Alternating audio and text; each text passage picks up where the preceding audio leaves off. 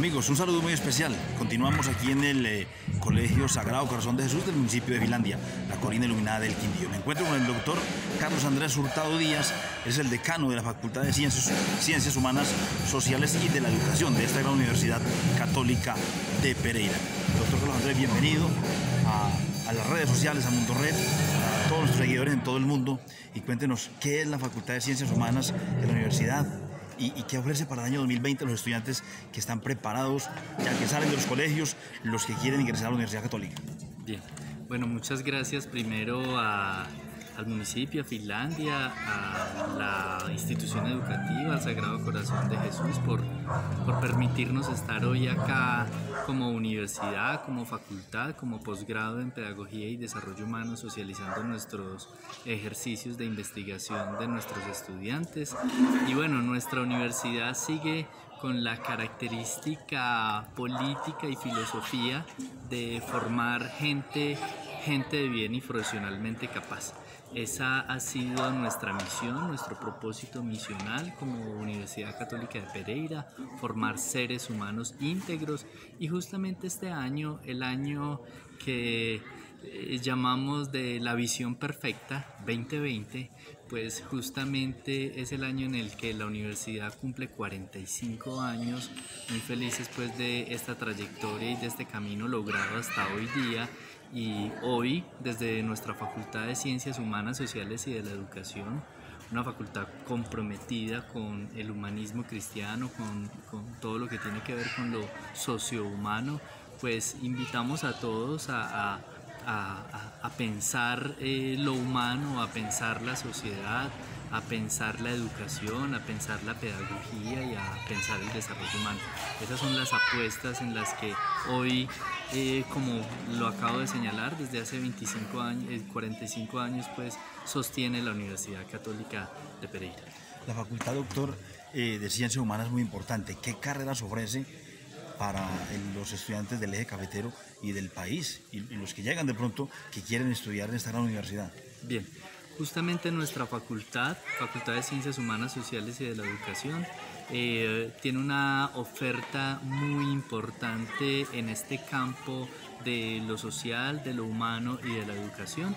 En nuestra base, en nuestro pregrado, tenemos comunicación social, periodismo, eh, psicología, licenciatura en educación religiosa, eh, tenemos actualmente nueve posgrados, eh, cinco especializaciones, tres maestrías y un doctorado. Esto quiere decir que nuestra facultad hoy representa o tiene como oferta toda la formación que existe en el campo de la educación, todos los niveles de formación, desde la licenciatura, desde la especialización en edumática, nuestra especialización en pedagogía y desarrollo humano y maestría y hoy nuestro doctorado en educación en desarrollo humano. Es una facultad comprometida, como su nombre lo indica, con la educación, con lo social, con lo humano, pero sobre todo de manera íntegra, pensando en que nuestros eh, estudiantes, nuestros graduados, no solo adquieran unas competencias eh, científicas con alta rigurosidad, sino que sobre todo eh, logren tener una formación humana que hoy tanto demanda nuestra sociedad. Doctor Carlos, eh, Carlos Andrés, eh, usted me habla de tres, eh, hay tres pilares, tres carreras principales de esta facultad. La psicología, Sí. la educación religiosa, ciencias religiosas y también el, el periodismo. Sí. Los semestres para los estudiantes que desean ingresar, ¿tienen el mismo semestre? Hay hay una de las tres más largas. Sí, nosotros actualmente con psicología y con comunicación tenemos una apuesta de nueve semestres.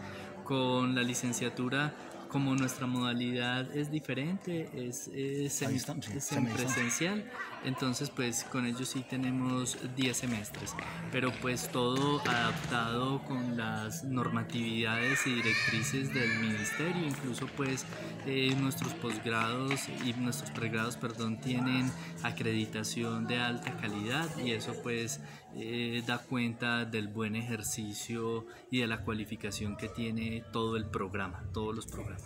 Doctor, en la época que, que les cuento a, los, a nuestros seguidores que tuve la- el, el placer de pasar por la universidad en el 2006-2011, había unos convenios, unos convenios de la universidad con otras universidades del país? ¿Cómo están los convenios? Ahora usted me decía micrófonos que ya es internacional.